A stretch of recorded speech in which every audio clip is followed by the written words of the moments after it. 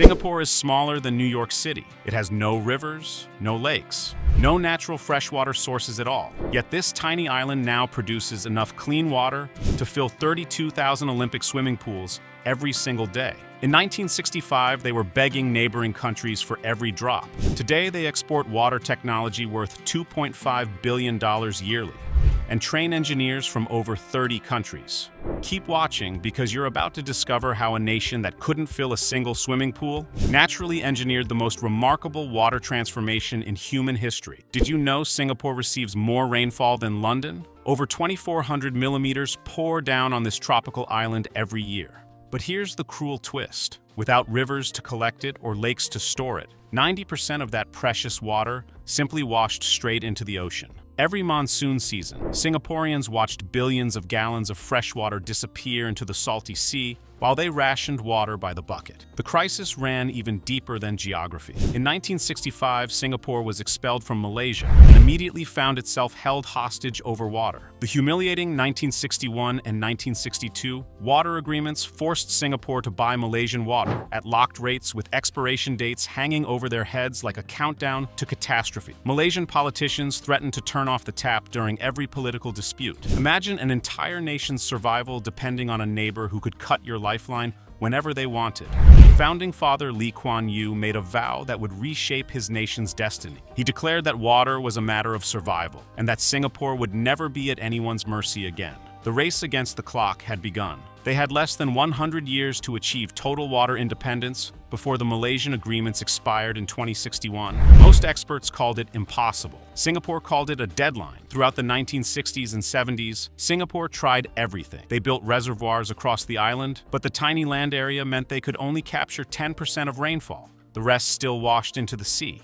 During severe droughts, citizens were limited to buckets of water per day. Factories shut down. The economy suffered. Public anger grew. Importing more from Malaysia seemed like the obvious solution, but proved politically dangerous. Prices kept rising. Malaysia wielded water as a diplomatic weapon, threatening cutoffs whenever negotiations turned sour. Early desalination attempts in the 1970s offered hope until the bills arrived. The primitive technology cost 10 times more than importing water, and the plants broke down constantly in the tropical humidity. Conservation campaigns helped, but couldn't solve the fundamental problem. You can't conserve water you don't have. The brutal truth became clear. Nothing worked until Singapore decided to spend impossible money on impossible technology. They would need to manufacture water independence from nothing. In the early 2000s, Singapore unveiled the most ambitious water strategy any nation had ever attempted. They called it the Four National Taps, and the vision was breathtaking. Transform the entire island into a water harvesting water recycling water manufacturing machine. By 2061, when the Malaysian agreement expires, Singapore would need zero imported water. The plan turned weaknesses into strengths. No rivers? Build your own collection system across every rooftop, every road, every surface. No lakes? Create them by damming the sea itself. Sitting on the equator meant predictable rainfall. Surrounded by unlimited seawater meant unlimited raw material. Singapore would build what nature refused to provide. The first tap expanded traditional water catchment to cover two-thirds of the entire island. Every raindrop landing on 17 reservoirs, roads, and concrete surfaces now flows into the collection system. The second tap maintained Malaysian imports as a temporary bridge, while independence was constructed. The third tap desalination would extract fresh water directly from the ocean. And the fourth tap the revolutionary one would transform sewage into water purer than anything found in nature.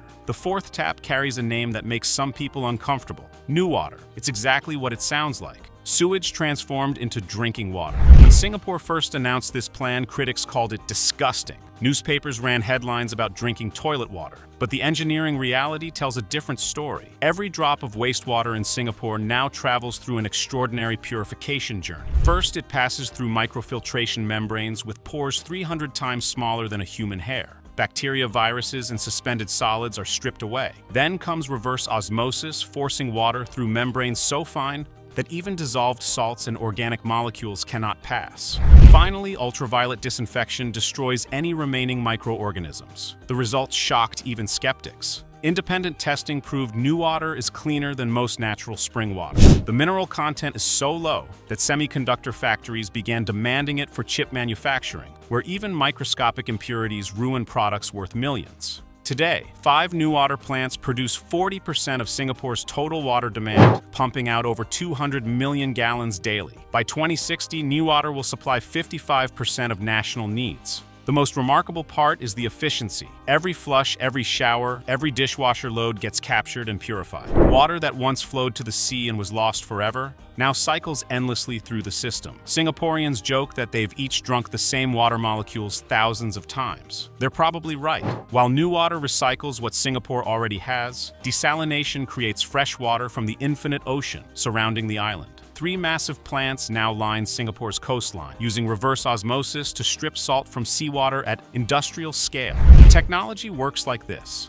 Seawater is pressurized to over 800 pounds per square inch and forced through polymer membranes just a few millionths of an inch thick. Fresh water molecules squeeze through, while salt molecules are too large to pass. Modern energy recovery systems capture the pressure from the concentrated brine and redirect it to incoming seawater, cutting electricity needs dramatically. Singapore's desalination plants can now produce fresh water using only 3.5 kilowatt hours per cubic meter, about half what older plants require. The Tuas desalination plant alone produces 30 million gallons daily enough for 800,000 people. Combined desalination capacity supplies 30% of national demand, with plans to maintain that percentage through 2060, even as population grows. But Singapore pushed innovation further. The variable salinity plant at Tuas cost $270 million to build the world's first facility that switches between desalination and NEWater production, based on real-time demand. When reservoirs are full, the plant processes seawater. When sewage flows increase, it pivots to NEWater production.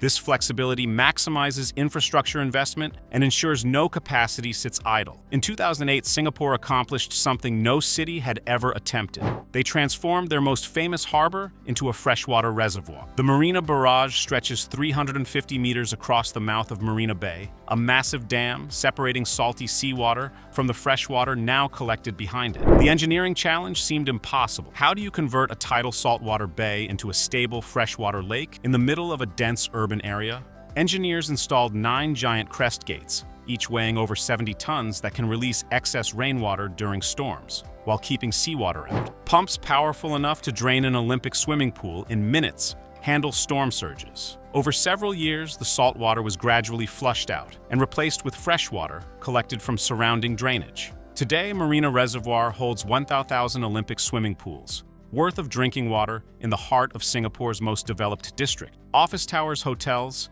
and the iconic Marina Bay Sands Casino all overlook what is essentially a massive water tank, disguised as a scenic attraction. The reservoir does triple duty. It stores fresh water supply. It prevents flooding by giving monsoon rains somewhere to go. And it created Singapore's most valuable real estate above what used to be mudflats. Gardens by the Bay, the famous vertical gardens that define Singapore's skyline, grow from soil built on catchment land. The Marina Barrage didn't just solve a water problem. It created a city landmark worth billions. Beneath Singapore's gleaming streets runs infrastructure most residents never see. The deep tunnel sewerage system known as DTSS is a 48-kilometer superhighway, for sewage buried 60 meters underground. The construction cost exceeded $3.4 billion and required boring machines larger than subway trains to cut through solid rock beneath the city. The tunnels slope gently downward, using gravity to pull wastewater towards centralized treatment plants without pumping. This eliminates hundreds of smaller treatment facilities that once dotted the island, replacing them with two mega plants optimized for NEWater production.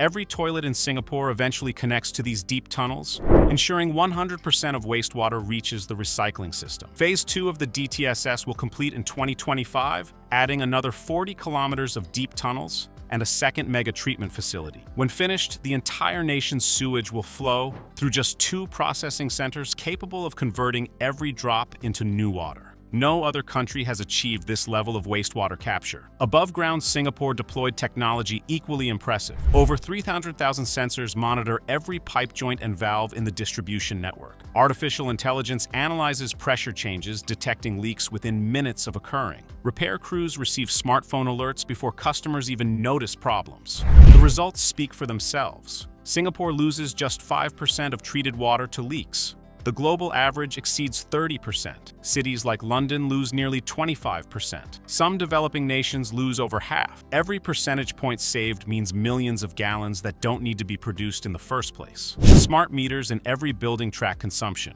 in real time letting residents see exactly how much water they use. Government dashboards monitor the entire network, identifying neighborhoods with unusual demand patterns that might indicate hidden leaks or waste. The system essentially gives Singapore X-ray vision into every drop flowing through its infrastructure. The year 2020 marked a milestone Singapore had worked toward for decades. Domestic water production exceeded 70% of national demand. For the first time in history, Singapore could survive without Malaysian imports if necessary. The impossible had become reality. That number keeps climbing. Current projections show Singapore reaching 85% self-sufficiency by 2040 and full independence well before the 2061 deadline. The nation that once begged for water now exports expertise. Engineers from 30 countries travel to Singapore annually to study their systems. Consulting contracts generate $2.5 billion in revenue, the water sector directly employs 14,000 people, with projections to double by 2040. Perhaps most remarkably, the transformation happened in one generation. Singaporeans who remember rationing water by the bucket in the 1970s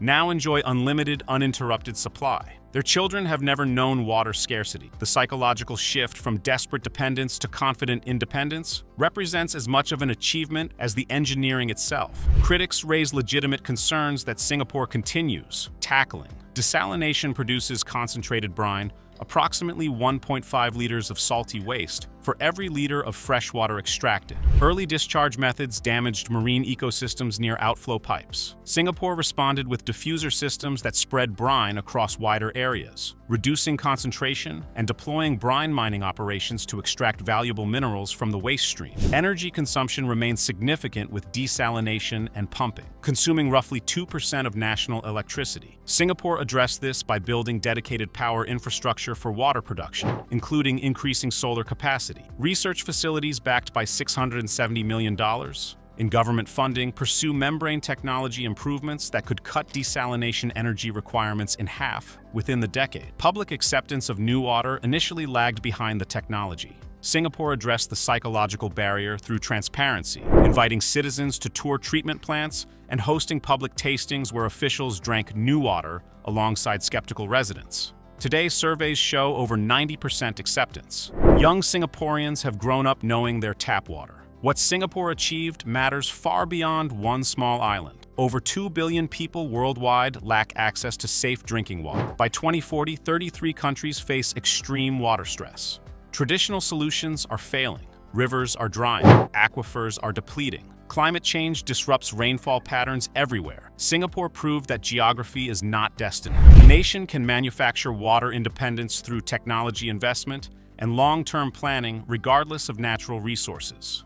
Countries from Israel to the UAE to Australia now implement Singapore-inspired systems. California sends delegations annually to study the model. India signed knowledge transfer agreements for NEWater technology. The World Bank's 2023 report declared Singapore the only country that has truly solved the water problem at national scale. If Singapore can do it with zero natural freshwater, any coastal nation theoretically can too. The technology exists, the engineering is proven. What's required is political will and sustained investment. By 2061, Singapore will either prove that humanity can engineer its way out of the water crisis or demonstrate the limits of technological solutions. The Malaysian Water Agreement expires in 36 years. The clock continues ticking. Singapore's water agency chief recently admitted they are not there yet and cannot afford a single delay. But every trend points toward success. Self-sufficiency percentages climb yearly. Technology costs decline. Research yields efficiency gains. The infrastructure built over decades will serve for centuries. Reservoirs filled today will provide water for generations. So what do you think? Can a city with no rivers, no lakes, and no natural freshwater become the blueprint for a thirsty planet? Could Singapore's model save drought-stricken regions across Africa, Asia, and the Americas? Or does the $30 billion price tag make this a rich nation's solution that most of the world can never afford? Leave your thoughts in the comments below. And if you want to see more incredible stories about how humans are engineering solutions to impossible problems, make sure to subscribe and hit that notification bell so you never miss another video from Global Uncovered.